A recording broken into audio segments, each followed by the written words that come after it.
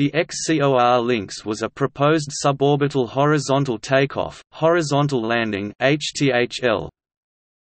rocket-powered spaceplane that was under development by the California-based company XCOR Aerospace to compete in the emerging suborbital spaceflight market. The Lynx was intended to carry one pilot, a ticketed passenger, and or a payload above 100 km altitude. The concept was under development since 2003, when a two-person suborbital spaceplane was announced under the name Xerus. In January 2016, XCOR changed plans for the first flight of the Lynx spaceplane.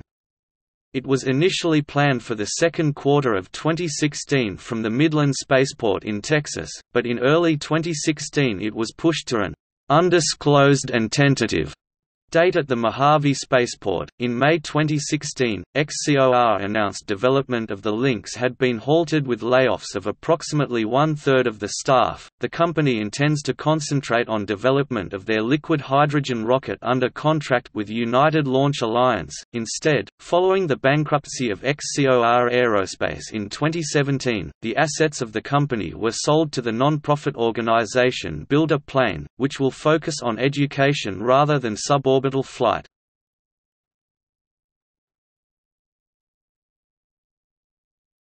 Topic: History.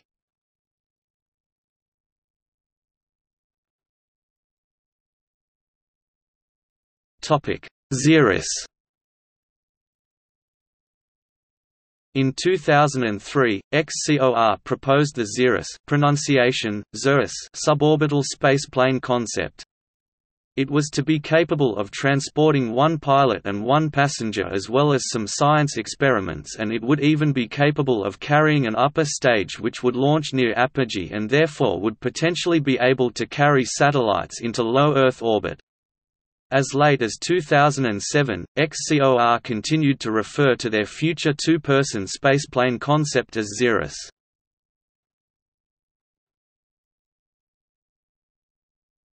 Topic Lynx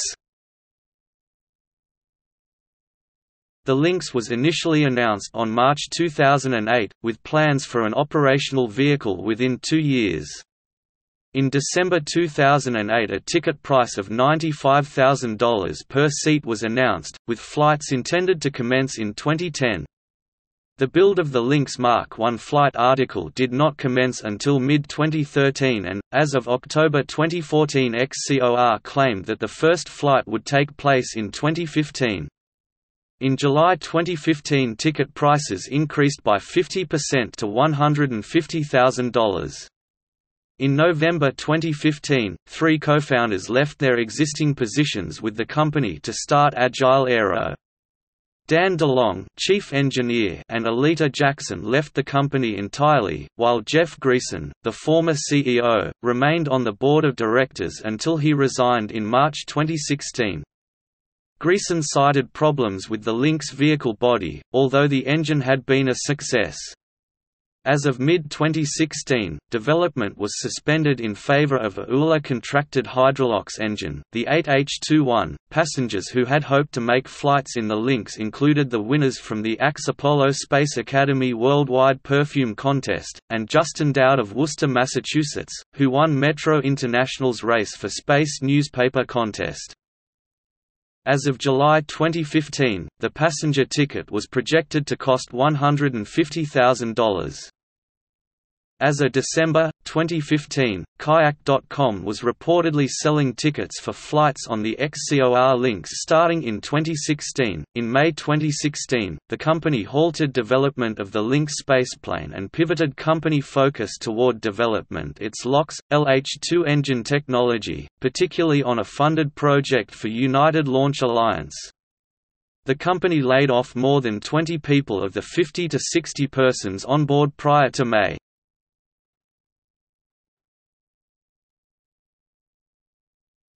Topic. Description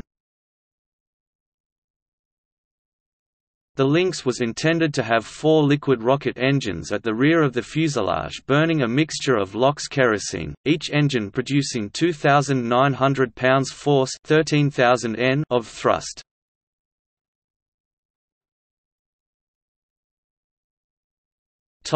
Mark I prototype Maximum altitude 62 kilometers 203,000 feet. Primary internal payload 120 kilograms 260 pounds. Secondary payload spaces include a small area inside the cockpit behind the pilot or outside the vehicle in two areas in the aft fuselage fairing. Aluminum LOX tank Mach 2 1522 miles per hour speed of ascent. 4G re-entry loading. Topic. Mark II production model. Maximum altitude 107 kilometers 351,000 feet Primary internal payload 120 kilograms 260 pounds. Secondary payload spaces include the same as the Mark I Non-toxic non-hydrazine reaction control system RCS thrusters type 3N22 Non-Burnite LOX composite tank.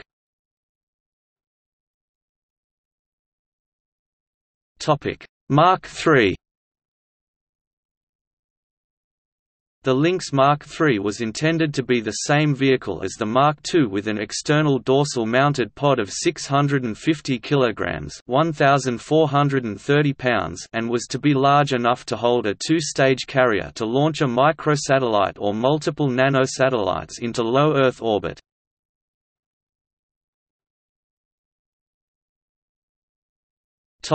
Lynx XR5K18 engine The XR5K18 is a piston pump-fed LOX, RP1 engine using an expander cycle.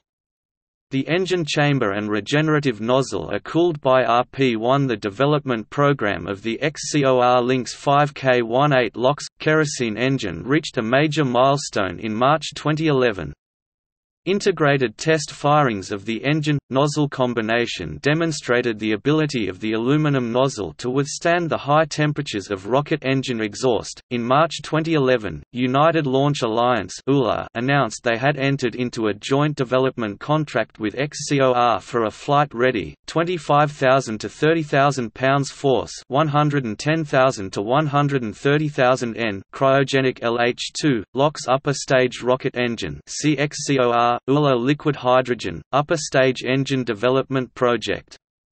The Lynx 5K18 effort to develop a new aluminum alloy engine nozzle using new manufacturing techniques would remove several hundred pounds of weight from the large engine leading to significantly lower cost and more capable commercial and U.S. government space flights.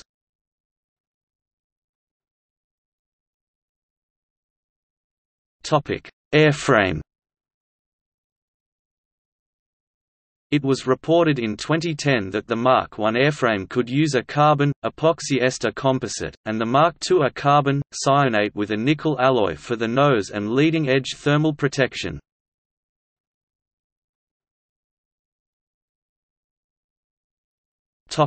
Mark I build The flight article Lynx Mark I was claimed as being fabricated and assembled in Mojave beginning in mid-2013. The cockpit of the Lynx made of carbon fiber and designed by AdamWorks, Colorado was reported as being one of the items that held up the assembly. At the start of October 2014, the cockpit was attached to the fuselage. The rear carry-through spar was attached to the fuselage shortly after Thanksgiving 2014. At the beginning of May 2015, the strakes were attached to the airframe. The last major component, the wings, were expected to be delivered in late 2015. In January 2016 XCOR's CEO Jay Gibson said, We anticipate the wings to be there in the very near future. And the CTO Michael Vaillant said they were finding that calibrating the flaps was a challenge. In February 2016 the first prototype was described as a «wingless shell» In XCOR's November 2016 news report they stated that even though the program made great forward progress integrating the vehicle's structural elements during 2015 and early 2016 the progress on the control surface elements lagged in design. In an effort to prevent potential rework resulting from implementing designs not yet mature the Lynx fabrication was paused, so our engineering team has gone back to the design board,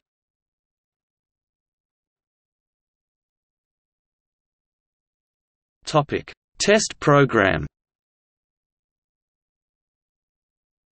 Tests of the XR5K18 main engine began in 2008. In February 2011, it was reported that engine tests were largely complete and the vehicle aerodynamic design had completed two rounds of wind tunnel testing.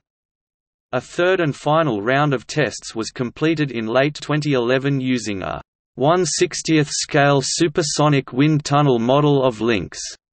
In October 2014, XCOR claimed that flight tests of the Mark I prototype would start in 2015. However, by January 2016, technical hurdles led the company to state that they had not assigned a new projected date for test flights.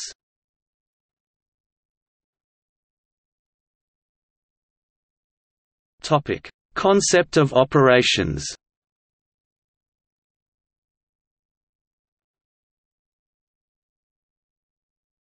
NASA SRLV program In March 2011, XCOR submitted the Lynx as a reusable launch vehicle for carrying research payloads in response to NASA's Suborbital Reusable Launch Vehicle (SRLV) solicitation, which is a part of NASA's Flight Opportunities Program. No contract for providing this was ever announced.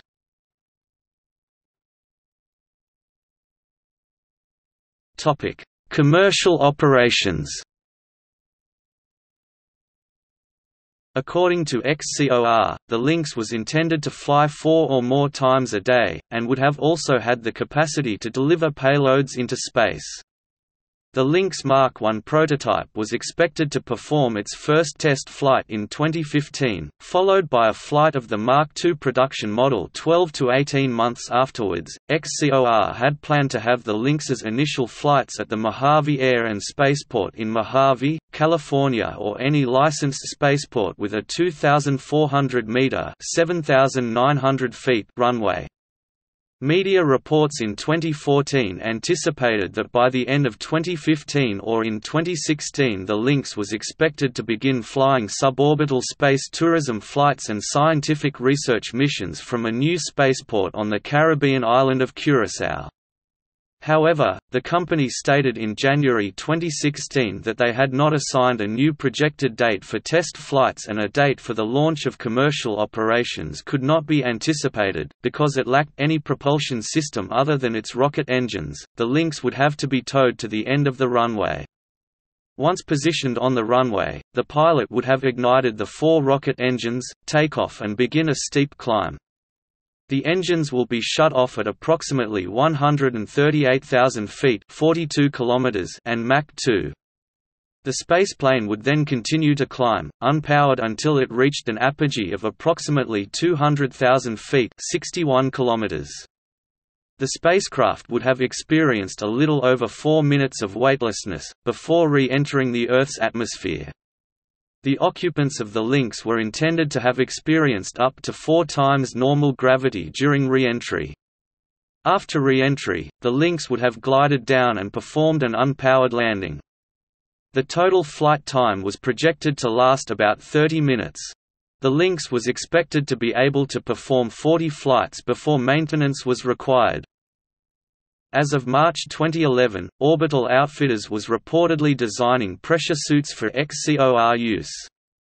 In 2012, Orbital Outfitters reported that they had completed a technical mock-up of the Lynx craft itself. As of 2012, the successor to the Mark II might have been a two-stage, fully reusable orbital vehicle that took off and landed horizontally.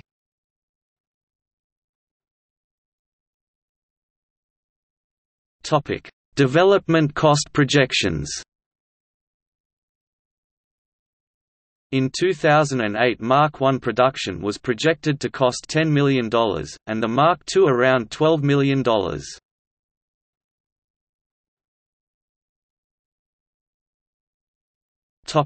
See also. Private spaceflight EADS Astrium Space Tourism Project. Rocketplane XP SpaceShipTwo. New Shepard.